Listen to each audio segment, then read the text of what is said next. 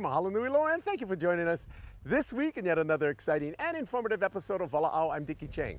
Approximately the calendar year 1953, there was a young lady that was a co-star of the Broadway musical South Pacific. That was known, and she was known, none other than, than the lovely Mitzi Gaynor. Well, guess what?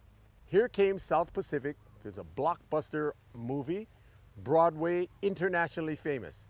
Well, in the calendar year 2009, specifically October 3rd, after 50 years, she came back to the island of Kauai to help us celebrate the 50th anniversary of statehood. We caught up with her at then the former opening of the number 18 St. Regis Resort in the world. That, of course, was the St. Regis up in Princeville. Let's recap one and reminisce the Walaau time capsule of our interview with, of course, the lovely Mitzi Gaynor. Prior to this evening's event, we had an opportunity to catch up with the lovely, radiantly talented, and effervescent Mitzi Gaynor, and this is what she had to say, reminiscing her stay 50 years ago here on the Garden Island of Kauai. It's amazingly, startlingly beautiful, gorgeous. It's uh, it's Bali Ha'i, isn't it? Golly, when I think of the first time we came here 50 years, 50 years ago, it was a green meadow and a hole, and the plane landed there. And now I think when we got off at the airport, it was like being in Orly and Paris. I mean, 15 or how many how many gates do they have? It's me, and you have a great deal to do with this, don't you? You're one of the people that has made this island so exceptional. I mean, look at the beauty of this place. Look at the the ambiance, the truth, and the warmth. I feel I'm rejuvenated, really.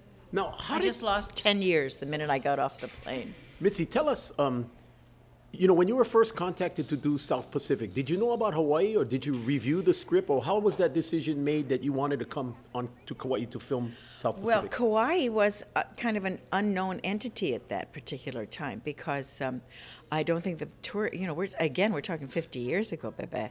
And uh, uh, you, didn't have that many tourists, and there were no. I, you know, I stayed at the Coco Palms Hotel, which was a fabulous place because do you remember? Do you, you, I don't think you remember the. Of course you do, you do. But they were the, like the, the little cottages with the tin roofs, and and the coconuts would fall and bang on the roof and wake you up in the middle of the night. It. Uh, uh, it was, um, I had nothing to do with choosing this island, but the powers that be at 20th Century Fox, uh, Darryl Zanuck and his whole unit, and Josh Logan and Rodgers and Hammerstein and everyone concerned with it, decided on this place because it was paradise. so as you were filming the movie and the movie became a hit, obviously, did you know what the impact was going to be or did you even fathom what the success would have been like? Well, I thought because the play was so successful, you know, and uh, because the book was such a big success, and because so many people could um, relate to the fact that it was the Second World War and it would stay in, in part, somebody's life forever and ever and ever. Yeah, I, I had a pretty, but I didn't know it would last this long. I mean, it's kind of like Cher, if you know what I mean. It, um, it retires every so often, but it comes back for one more time, and so uh, that's uh, that's what we're doing. We're bringing it back, and now, of course, you know it's in in in um, in Blu-ray, and so it's uh, and the sales are amazing because the people want to see it. It's of course you can never quite replicate the actual beauty of the island of Kauai. You can't because there's so many spirits. It's so spiritual, but the color, I think you can feel it when you see it. So, as you were, you know, notified by your people, like, hey, would you like to come to Kauai and celebrate the 50th anniversary of statehood and, of course, the filming of South Pacific? Yes. What was going through your mind at that particular time? I was thrilled. I, I, was absolutely thrilled, and I haven't been here for 50 years. You know, Jack and I, my, my dear husband, and I um, had we've made friends. We're going to see some of them tonight, as a matter of fact, at the gala or gala, whichever you want to say. And uh, they're the Fujiis, and they're wonderful, wonderful friends. And and uh, I'm going to see David Penhallow, who is a, a tr- island treasure, as you know. And uh, we've always kept in touch. And um, I was I thought it would be one. Of, now is the time to do it. And um, the opening of the hotel and the, I forgot, you know, I'm so busy. It's all about me, you know, darling. I, I forgot that it was also a celebration of the statehood. So, um, yes, I should be here. God wants me to be here, or all the gods want me to be here, and that's why I'm here. So, as your career uh, progressed, you know, like, uh, say, for example, 20 years ago, 30 years ago, Mm-hmm. 40 years ago, w- was it ever in the back of your mind thinking to yourself, oh my goodness, the 50th anniversary of South Pacific is right around the corner? No, um, it just it it just came. I mean, all of a sudden, I thought, 50 years, my God, it can't be 50 years. Look in the mirror. you know all about that. You've been around for a couple of weeks too, haven't you? Uh, it's, um, it's very exciting. It's thrilling, and I'm so glad that I'm still part of it. And I'm so glad that you wanted me to come. Well, inter- I appreciate it. And uh, I beg your pardon, but interestingly, you know, the, the residents of the island of Kauai, the state of Hawaii, and you know, really our visitor base that's here, when they found out that you're going to be on the island, uh, there's a lot of buzz. There's a, you got a lot of fans out there. Isn't it wonderful? It's so thrilling. It really, really is. Um, I treasure it. Um, you know, I come from an area, Beverly Hills, you know, California, um, Los Angeles, the movie business, you know, it's um, insular, you know, it's, um, there's so much take, take, take there, very little giving. And there's so much giving here. And people are so, I mean, I, I was talking to somebody a little while ago on the other side of the room, and a lady came up and she said, I've always wanted to meet you.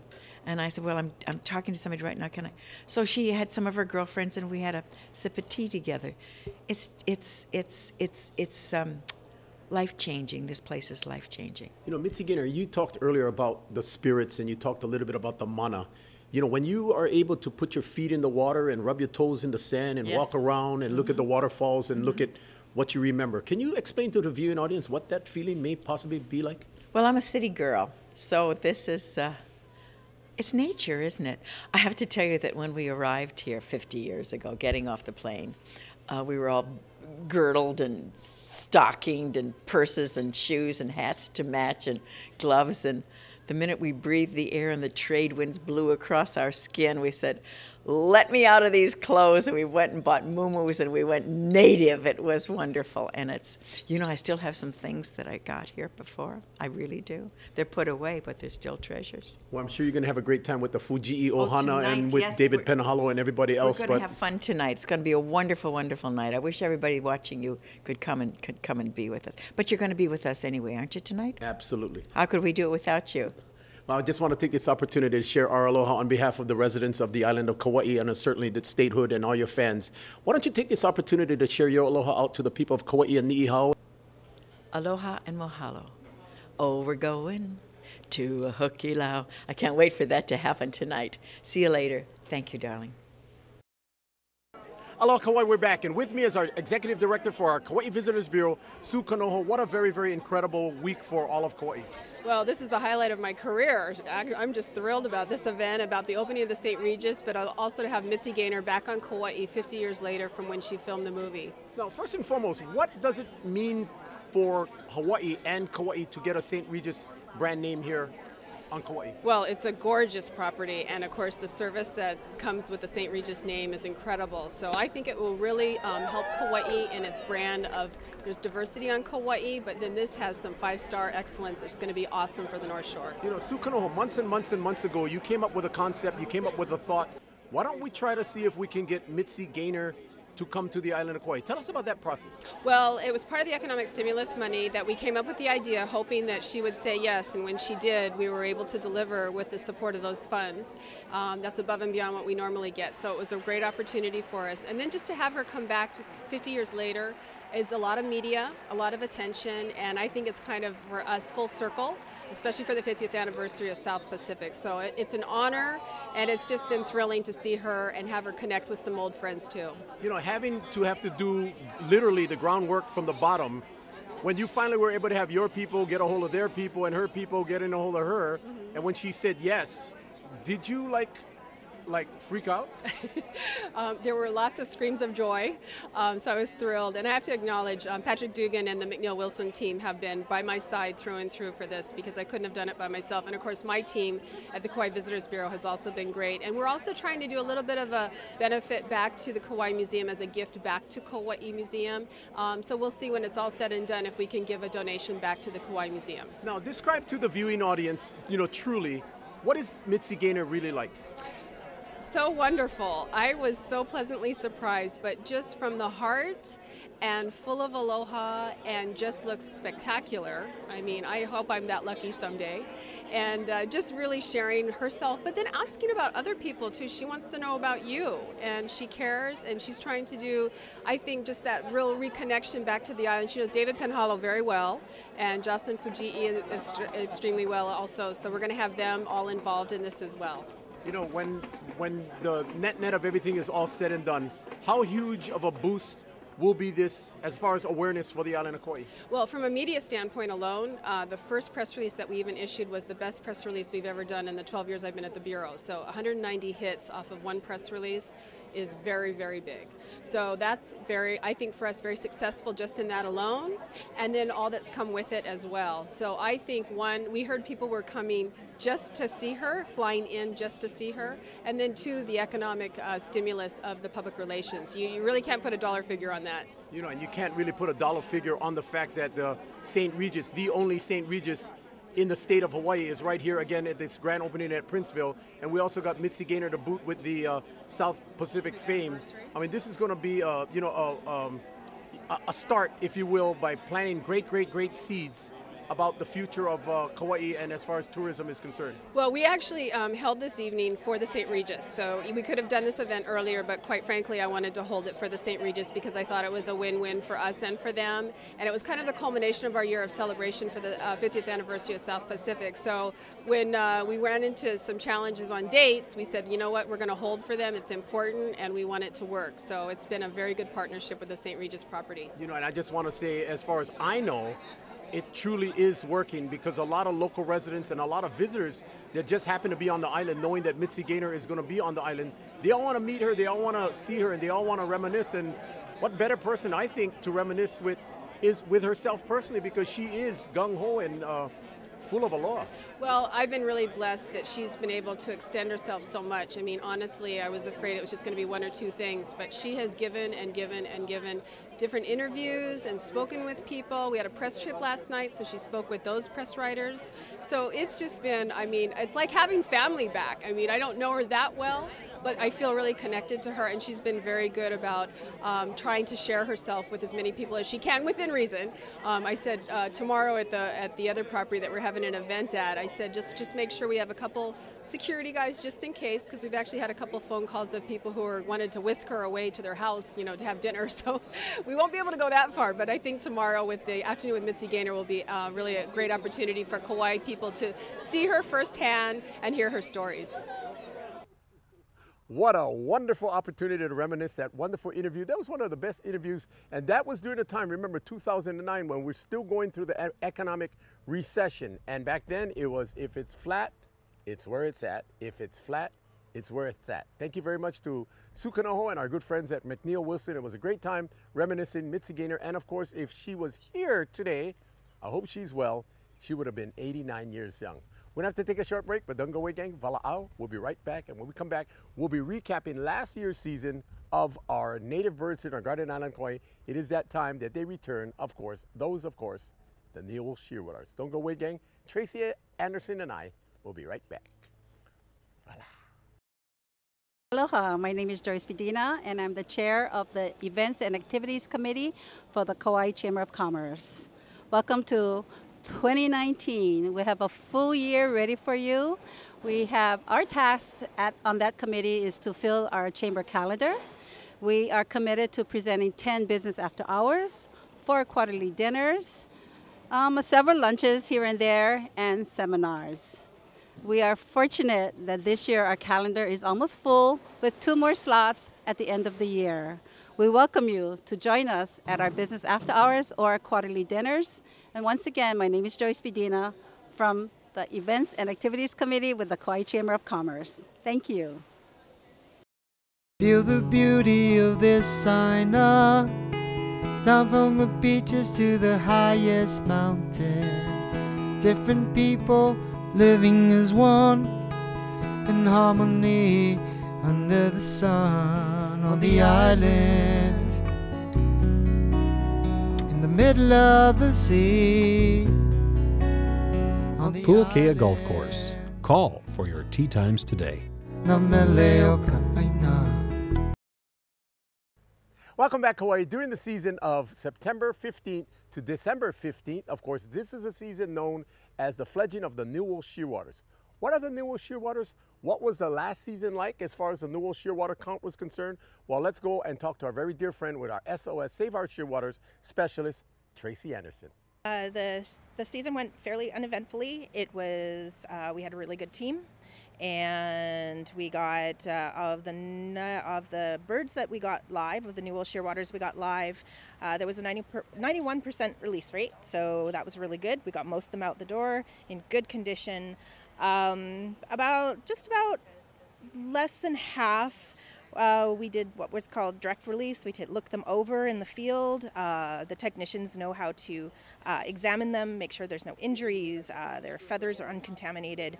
Uh, they take a few measurements, put a band on, and then they release them.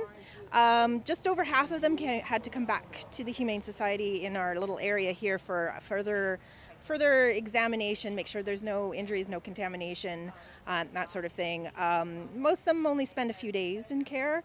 Uh, we had 20, just over 20 birds that spent more than seven days in care here uh, before they were released again.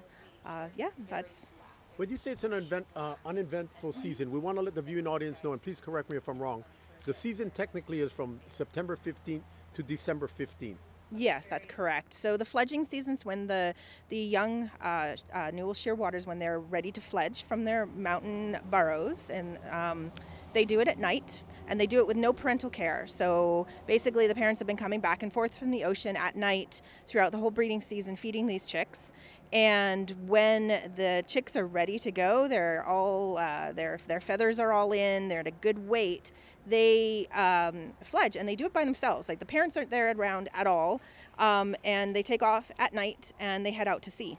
And that takes it starts taking place in September, and it goes through into October, um, and then by the end of October, Newells are fair, are starting to, um, you know, finish their fledging, and then we have Hawaiian petrels that also fledge, which is another endangered species here. They start fledging here on Kauai, um, and also we have the wedge-tailed shearwaters that nest here on Kauai, which nest on the periphery of the island. They start fledging at the in into November and then into December.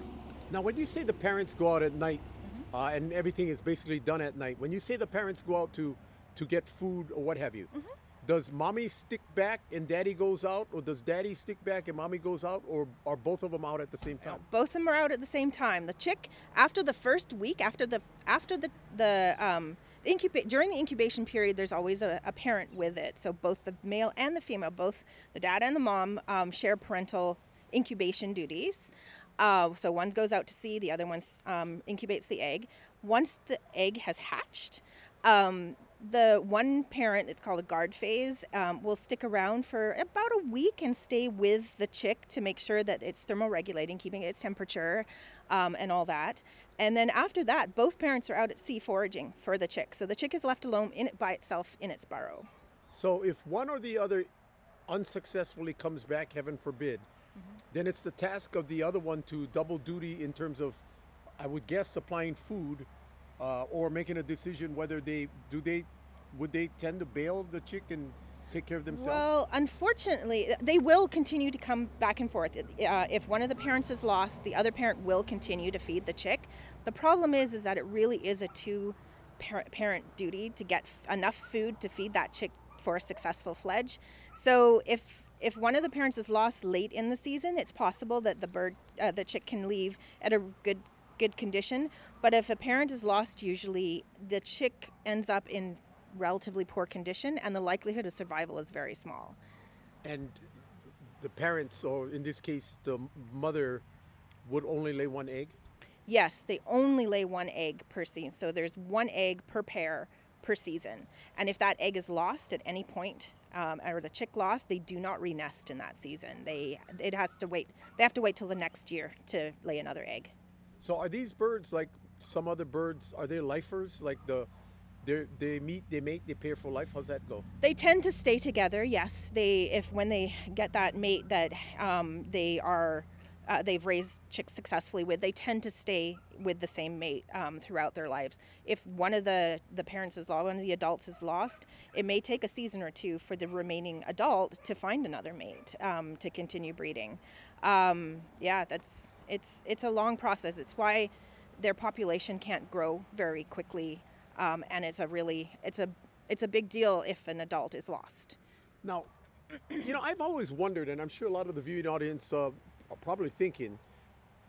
Now, when you say that the the parents will split, the baby at night that's fully fledged with the proper weight or the physical abilities will then jump off a cliff or a higher elevated area out to sea, then what? Where do they find who they need to find? It, it's it... instinctual uh, for this species. Um, uh, so some bird species have a parental care period when after they fledge, um, like the boobies do. Um, some of the other species here, they continue to come back and forth to where they they nested, and the parents will continue to feed them while they learn to hunt.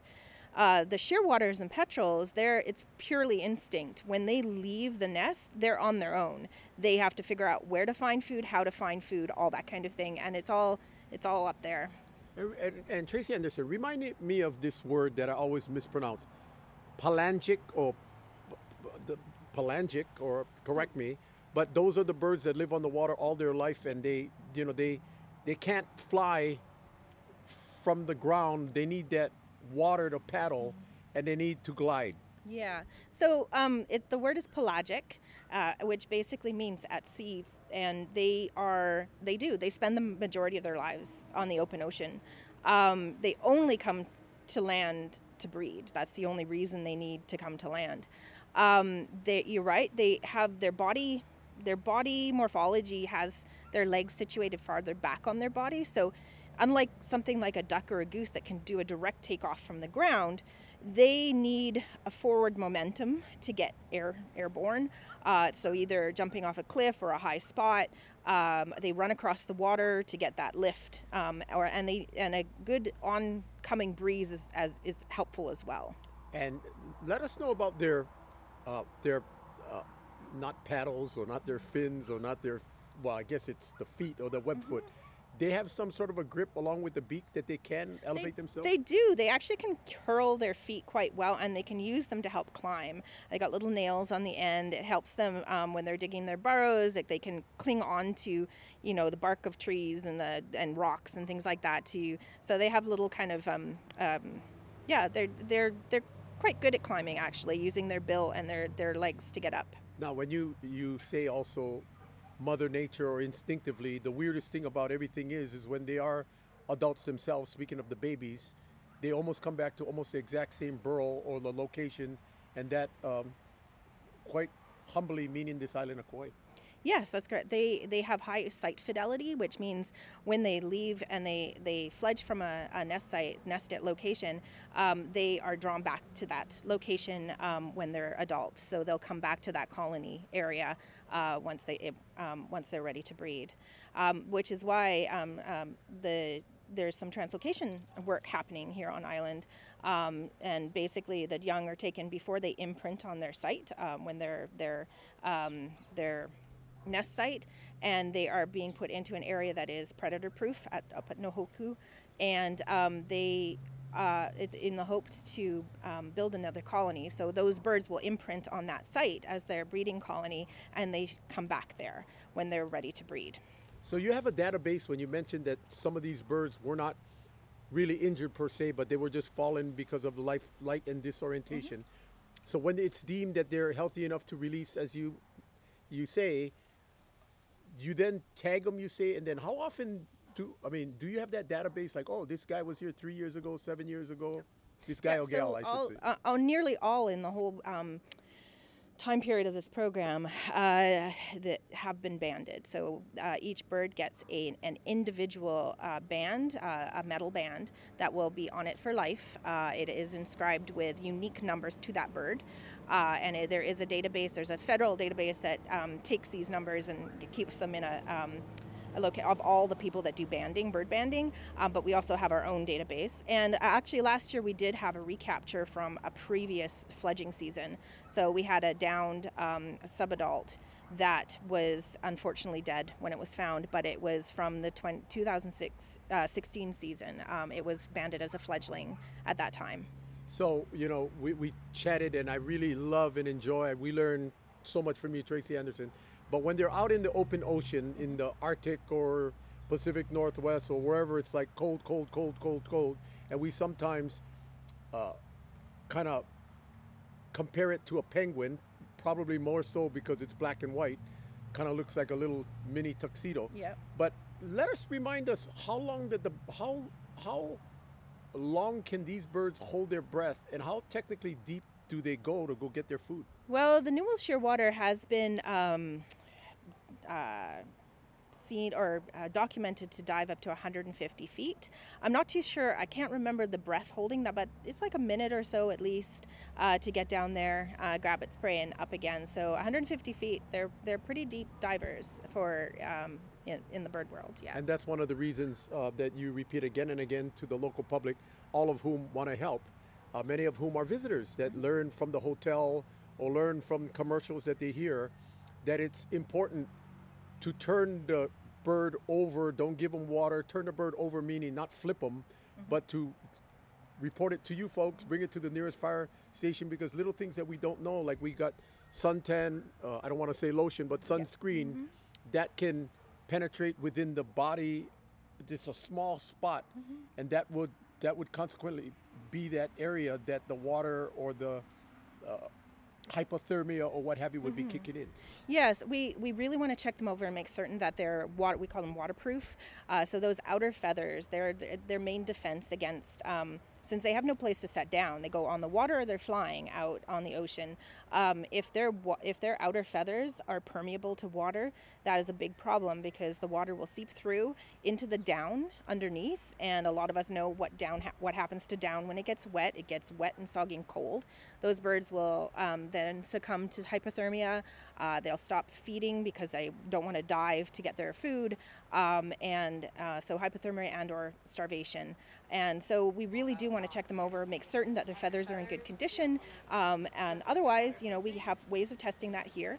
Um, and we have pools that we put them in, make certain that they have that um, buoyancy, that waterproofness, um, that and and in the odd occasion, I mean, we don't have to do it to too many of them, but we may have to wash them. So if they get road, road oils on them or something like that, um, they're unable to remove that themselves. So we need to give them a wash, and we follow um, oil spill protocols for that kind of thing. So we'll give them a good wash, get their water, their feathers um, clean again, and then they can um, put them all back into order and be waterproof.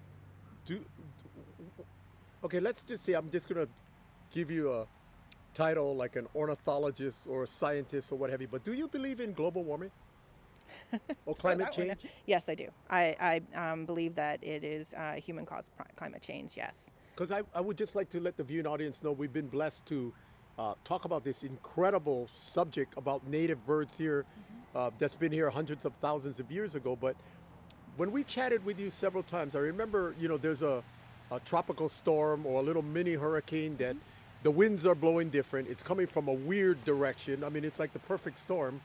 And other types of migratory birds that never really pass through the Hawaiian Islands get blown off chart.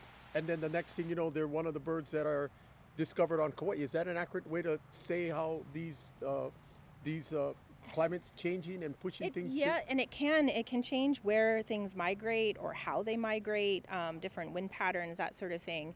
Um, you know, f- fallout that the odd bird year to year that happens on Kauai that is not supposed to be here from other places that has been happening for quite a while because you will get these freak storms when they're they're um, they're migrating and things. But what it appears to be is that the storms are um, increasing intensity um, and uh, in frequency, um, and it, it just may happen more and more. Well, I guess, you know, when we really think about it, that's probably things that happened thousands and thousands of years ago. And this is maybe how a lot of the native birds just happened to come to the Hawaiian Islands. And then consequently, because they might have been blown off chart, they, this is the only place that they do, they were home. So when they would come back, then obviously they'd beeline it and come Well- to the garden island of Kauai. Some of the species actually, um, so the new, the shearwaters and petrels, they they actually search out um, island uh, archipelagos and things like that, like Hawaii, because of how they nest as well. So what happens is they nest in holes in the ground. It makes them very vulnerable to uh, mammalian predators. Um, and on these far-flung islands, there used to be no um, uh, mammals, um, mammalian predators. So um, they populated these these islands um, and uh, did very well until we started introducing those species and those predators here. So that's um, you know that's another way that they, they moved around. But we are losing some of the, the outer islands to uh, sea level rise, um, more frequent storms. So species like other burrow nesting species like Bonin petrels, we don't have them here on, on Kauai, um, but they their burrows are getting flooded more frequently, so they lose lose their uh, their chicks and their eggs and things like that. So yeah, it's it's a big problem. So for those people, which are probably very few, or for the visitors, how blessed are we that we don't have mongoose on Kauai? Very, very blessed. They are a, an amazing little animal in their own right, um, in their native habitat. Um, but they are incredible predators and they are um, will take prey many times their size sometimes and the fact that we don't have them here is is very good yeah. They're like sadly like the modern day weasel or mm-hmm. Tasmanian yeah. devil. They might not necessarily eat something, but they'll just wipe everything out. Well, they they do, and because they're quick, they have a high metabolism. They, they have to eat quite frequently as well. So, and they're they're really good little predators, and so we're really good. It's really good that we don't have them here. Well, Tracy Anderson, and if you just joined us, we are here with Tracy Anderson. What is your official title? I'm the program coordinator for the Save Our Shearwaters program. So there's not a lot of people that know what you know. Uh, not, I mean, humbly speaking. Uh, th- I mean, there's other people that do a lot more research on, on the um, and other programs that do research on the birds up in the mountains, on their, their breeding sites, on the numbers, the population. Um, I I specialize in, in the birds once they're they're the the husbandry side of things. Um, so the handling, the getting them out in good condition, uh, that sort of thing. Yeah. Right, and basically, I was meaning, like, say, for example, if there's none on Oahu, maybe there's a few on the Big Island, smaller colonies. If it was prevalent all over, or the mainland, or every place else, people would probably want to try to scoop you up for all the information you know to, to care for that. As always, Tracy Anderson, thank you for joining us on Walaau. But leave the viewing audience one key fact that most of us don't know that you want to share with the people in regards to the Newell Shearwaters here on our garden island of Kauai? I'm trying to remember what ones I haven't given you before. Um, I think we've talked about the diving before. Uh, the fact that they don't ever drink fresh water, they don't ever need to drink fresh water. They have glands in their in their heads there um, that filter their blood, and and the excess salt in their blood is is excreted that way, so they don't ever have to drink fresh water. Thank you, Tracy. And for further information about the Newell Shearwaters here on our garden island of Kauai, please call the Kauai Humane Society. Again, please call the Kauai Humane Society. We're going to have to take a short break, but when we come back, we'll tell you about a world premiere about a movie that we get to see right here on our beautiful Garden Island, in Kauai, this coming Saturday evening. Don't go away, gang. Walaau in the Storybook Theater. We'll be right back. Hi, I'm Vanessa Carano. I'm a and leasing rep with King Auto Center. We have an extensive inventory of new and used vehicles from Hondas and Rams to Ford F-150s and Toyota Tacomas. Let me help you find the vehicle that best suits your family and your needs. Call me at 245-4788 and ask for Vanessa Carano. Again, that's 245-4788 Vanessa Carano. Hope to see you soon. Healthier is quality care close to home. Healthier is state-of-the-art facilities and the largest and best team of doctors on Kauai. It's specialty care and caring in a special way. Healthier is Kauai's only comprehensive bone and joint center with expertise in joint replacement, hands, feet, ankles, and sports medicine. Wilcox Health, creating a healthier Hawaii. Captain Andy's sailing. Nobody has more fun.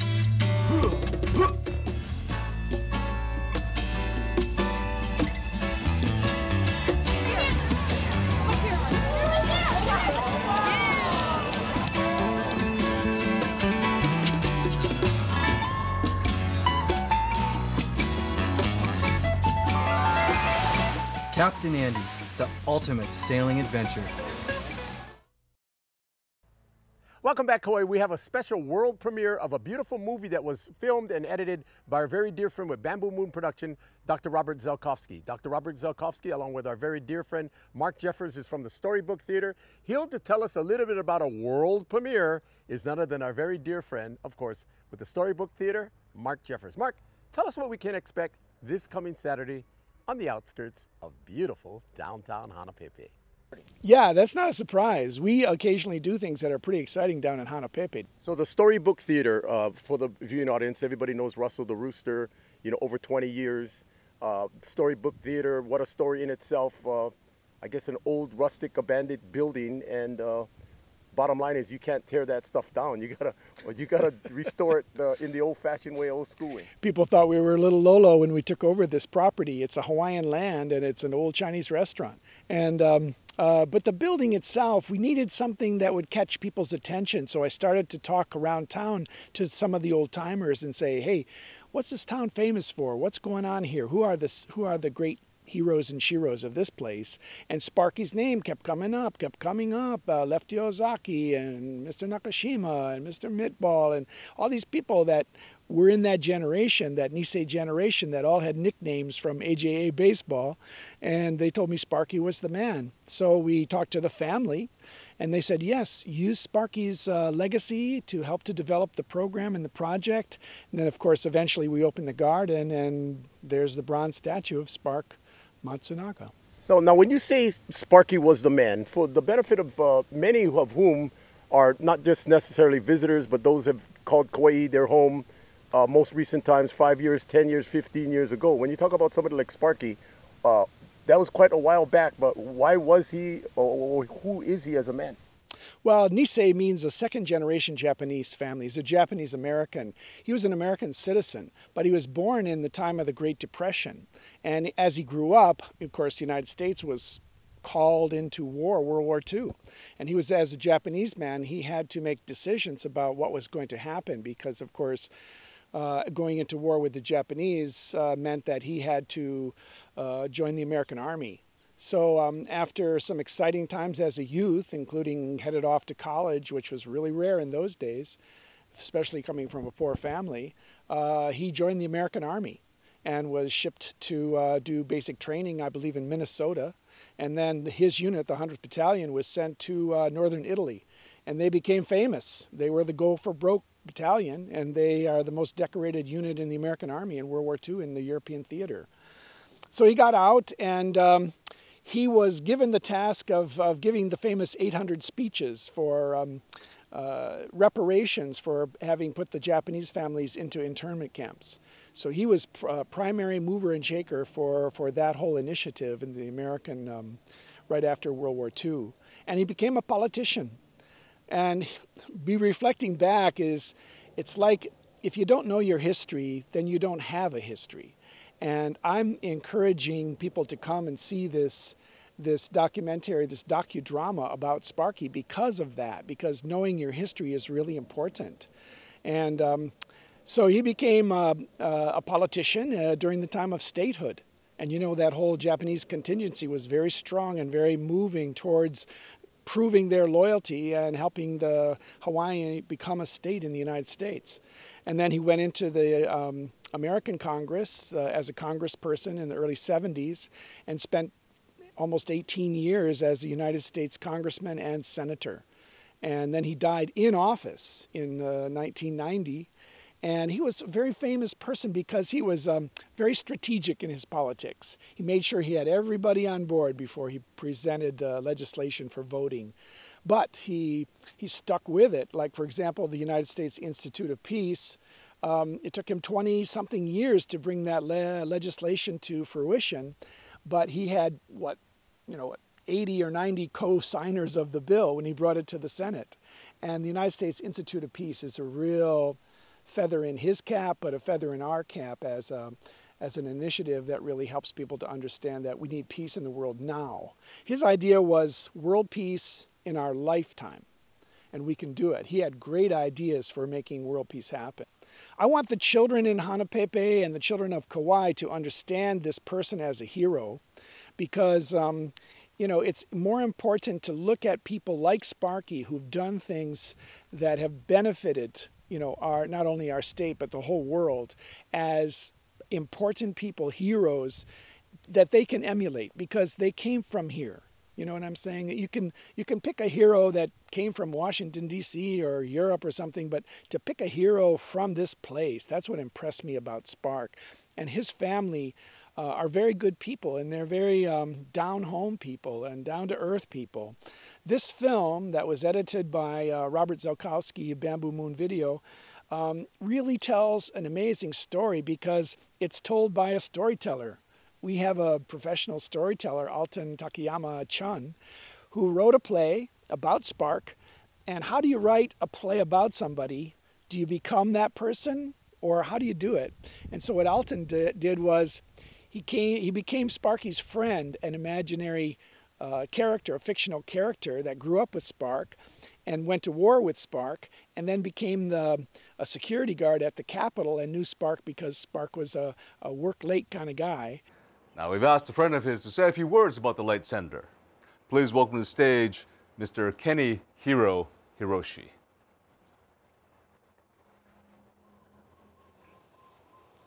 Hi. Uh, they would ask me to say a few words about my friend, uh, Spark Matsunaga. You know, if Sparky was here right now, he'd be laughing his head off because he don't like talking public.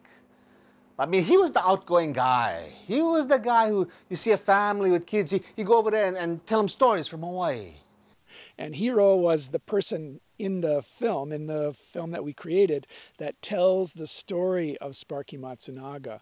But then he suddenly transforms and becomes Sparky himself and says some of Spark's poetry and uh, some of his tough times in his life, the hard times in his life. If we want peace, we must educate our people to want peace. We must replace attitudes favorable toward war with attitudes that are opposed to war. Teachers should let generals fall to the background and perhaps replace them with leaders of social change and bring them to the foreground. We must show our young people that there are other types of bravery than that which is shown on the battlefield. So it's a very interesting play on. Um, it's like watching a stage play, a storyteller and a and a, and a character, a real life character in history. And we were able to get some great historic footage. We did a lot of research, went to the uh, university archives and the um, and the the Daniel K. Inouye uh, media archives and we found some videotape of Spark so people will actually uh, hear his voice. to one additional committee, to, uh, subcommittee to which uh, I was not assigned, but I've been assigned to four different subcommittees. Um, the, what are they? The principal one of which is the uh, Foreign Agricultural Operations uh, Subcommittee, headed by uh, Congressman Poage of Texas.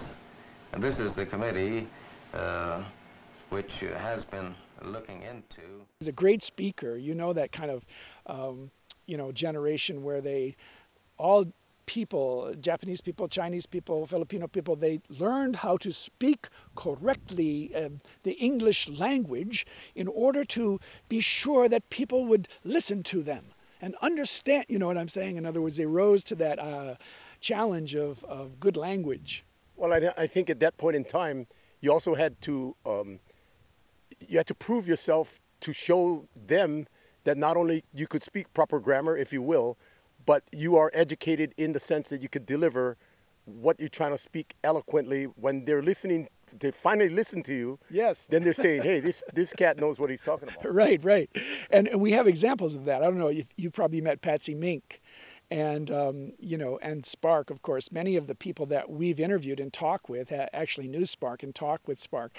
The people of Hanapepe sometimes were disappointed because they didn't get enough of Spark. You know, he lived in Washington D.C. and when he came back, he was in the political campaigning mode a lot of the time. Uh, this um, videotape, though, we had to make choices on where to show it and, and how to present it to the public. So this showing is a world premiere and it's on uh, October 5th, which is this coming Saturday. And it's at the Hanapepe United Church of Christ, which is a stone's throw from where Spark grew up. there close by the river in Hanapepe, right across from the Hanapepe Library. We're going to open up the doors at 5:30 and we have pupus and desserts from area restaurants. So people will be able to sample good um, cuisine from the area restaurants.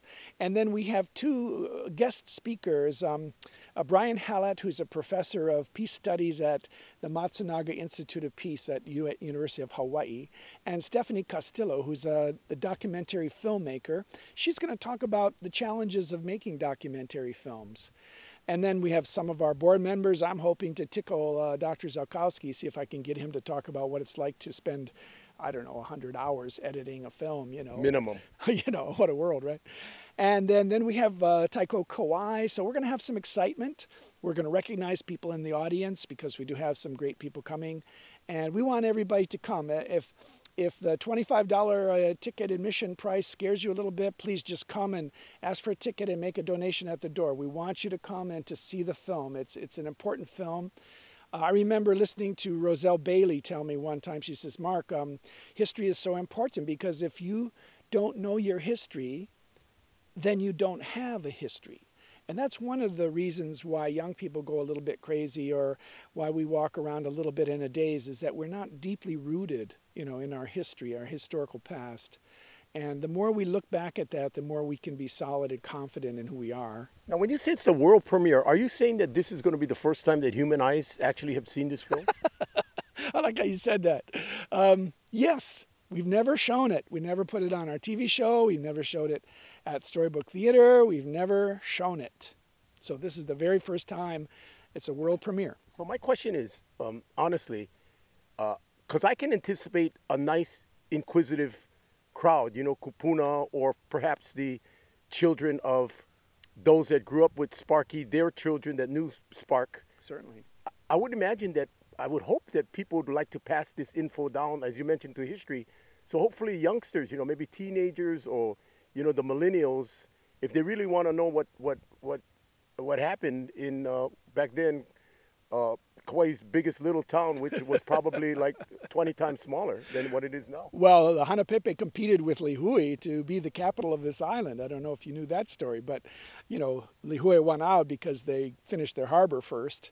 But Hanapepe is a, was not a plantation town. And so it was rough and ready, and it was a port town.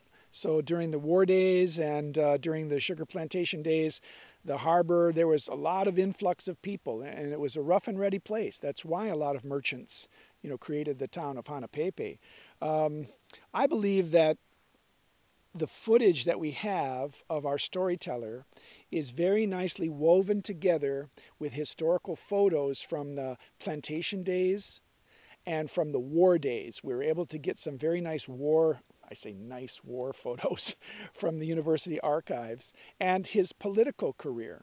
So people who come that are in Sparks' generation or just slightly younger, my generation, um, will recognize those photos of Hanapepe and um, you know uh, World War II and the polit politics, and the children will enjoy the storyteller aspect and how our storyteller weaves together that fictional character and the real character together.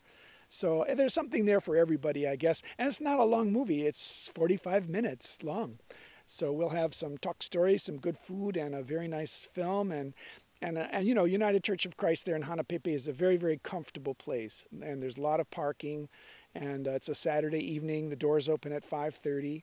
And we'll be, we'll be Pauhana by mm, 8 o'clock or so so well, people go home and get their rest. Well, we look forward to meeting uh, Hiro Hiroshi. Yeah. uh, and I'm just going to say a couple of things. You know, when you talk about Sparky going uh, side by side with the Caucasian of, we, as you mentioned, uh, the haole. Yeah.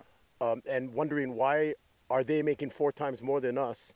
This was way before the word discrimination ever came into the Webster's dictionary vocabulary. But mm-hmm. another interesting thing that you say, you mentioned uh, State uh, House of Representative then uh, Patsy Mink, the uh, vibrant and spunky not Sparky, but Spunky Patsy Mink. Was it was very interesting because she ran against Sparky for the United oh. States Senate, if you may remember. He won about 70% of the votes, uh, I believe. But it's interesting because in her pathway following the wisdom of then Senator Spark Matsunaga, remember, upon his passing, she championed the uh, equal rights, rights with women. That's right. Being able to participate right. in in all sports. That's another another incredible story. Yes. Uh, because of Sparky, that the women could be in women's soccer, or women's basketball, women's softball, Right. and she also equally fought to get equal pay. So this is a great, great story, and I, I'm hoping that it's a sellout. I'll do my best to be there, but more Thank you. importantly, I can see this documentary at the Waimea Theater. I could see it at the Princeville. KCC Performing Arts Center, uh, the the Church of the Pacific up at Princeville, because this is something that needs to be shown, and what an honor that it's the um, the world premiere. And I hope a lot of tourists that seek much more than the sun and surf, that really want to dig into the history, because a lot of tourists they actually do participate in things about about history, and they want to do something different. That's right. In fact, our board of directors said that no, no, we've got to do the premiere in Hanapepe. Absolutely. This is Sparky's place. This is Sparky's town.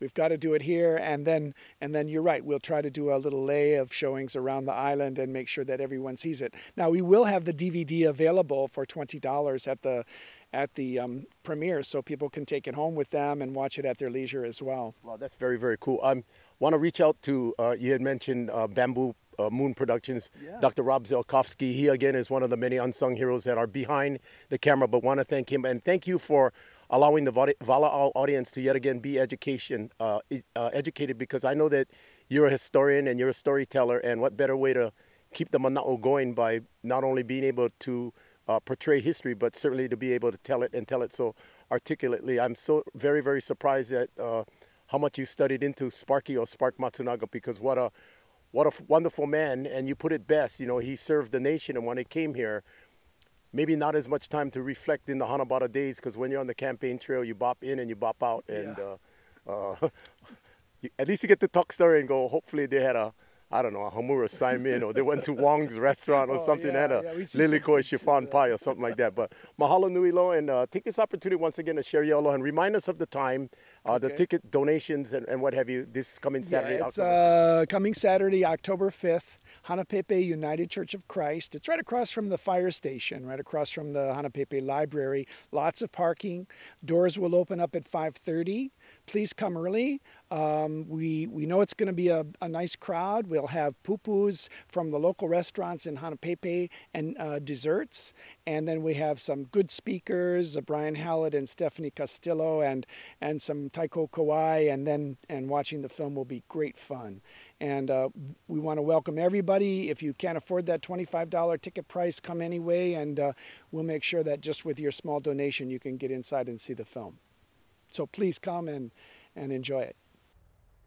Thank you once again to Mark Jeffers with the Storybook Theater, Dr. Robert Zelkowski. Thank you for editing. Don't forget the world premiere of the life of Sparky Matsunaga. Remember, Spark Matsunaga was a resident here of Hanapepe, came to go on local roots, local beginnings, uh, 44, uh, 44, uh, the 442nd Infantry, war hero, and of course, turned to be a House representative and of course a United States Senator. The story of Sparky Matsunaga, Hanapepe this coming Saturday, uh, beginning at I believe beginning at 5:30. Give me a call 635-8800 635-880 and we'll see you there. Don't go away, gang. Walaau. We'll be right back. Spark Matsunaga was a dedicated family man, decorated war veteran, peace advocate, and politician. Join us for the very first screening of the Storybook Theater documentary Spark Matsunaga, Poet for Peace, Saturday, October 5th, 5:30 p.m. at the Hanapepe United Church of Christ. Tickets 335-012 or at eventbrite.com. See you at the movie. Aloha. I'm Barbara Bennett, owner and publisher of the Islands Monthly Community Magazine for Kauai. Available at newsstands, mailed to you by request, or at the Honolulu and Lihue airports. I invite you to join our local residents and read our stories. All local, all community, all Kauai. Read For Kauai magazine on our website, forkauaionline.com, with more feature stories, videos, daily calendar, and local news that will excite and interest you. Visit us daily, weekly on the web, and monthly in print. Mahalo and aloha. Aloha Kauai, my name is Joy Kagawa. I'm a sales representative at King Auto Center. Please visit us here Uh, we'd love to show you our new cars, like this new Passport that just came back into the Honda line of cars. Please come in for a no pressure buying experience at King Auto Center. I'll show you this brand new Passport. Um, come and see Joy Kagawa, King Auto Center. Please ask for me and see what the King can do for you. Thank you, Kauai. See you soon. We hope you enjoyed this week's episode of Walaau. As always, we'd like to sincerely thank each and every one of you for watching Walaau and making us a possible week in and week out. We are on Spectrum Cable 128. Don't forget now, just turn it on. Bing, bing, bing, bing. Channel 128 every Tuesday, Thursday, Saturday, 7 a.m., 12 noon, 4 p.m., 7 p.m., 12 midnight, Spectrum. And of course, whenever we get online, we'll be able to let you folks know because we are streaming on YouTube and that, of course, Walaau Kauai. Now, if you want to check out any of the episodes, W-A L-A-A-U, Walaau Kauai, K-A-U-A-I, Walaau Kauai. You can check out much of the many, many episodes only on YouTube and Walaau. This weekend we got a pretty cool concert. Now everybody knows we have the life of Sparky Matsunaga. That's going to be presented by our very dear friends there at the Storybook Theater. That's going to be happening at the Hanapepe Church of Christ. I believe that's the church right across the fire department by Noko'oi plants and what have you. We'll see you there. But we also have the divas from Maui. That's right, the divas from Maui. Who are the divas from Maui? Raiatea Helm, Molokai. Uh, we got Napua Greig, Kumuhula Napua Greig, and of course we have Amy Hanaiali'i. They're going to be performing at the War Memorial Convention Hall. So you guys want to go check out? We got to go check out the divas or the titas from the island of Maui. Again, that is Raiatea Helm. Uh, we got Amy Hanaiali'i and Kumuhula Napua Greig. That's going to be happening 7:30 this coming Saturday there at the War Memorial Convention Hall. This coming Friday, Saturday, and Sunday. This is our second annual Kauai Peace and Yoga Festival.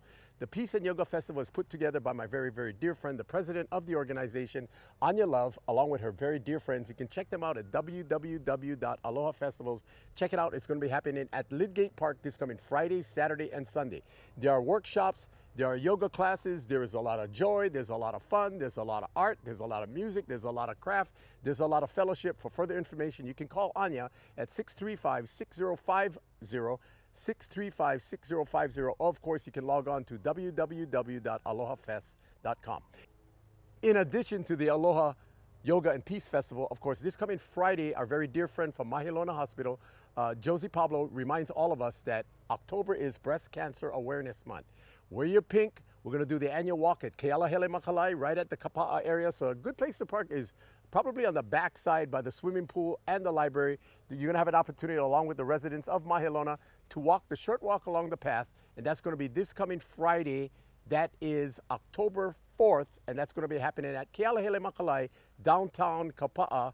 And we're going to do a nice little walk. You're recommended to wear your piece, uh, your pink, and of course, this will be in demonstration and in honor and in thoughts of Breast Cancer Awareness Month. And please remember, even the men, one out of a thousand, can get hit with breast cancer. It is time for us to hele on. As always, let's all continue to take care of our families, our friends, the neighbors, the malihini and the Aina.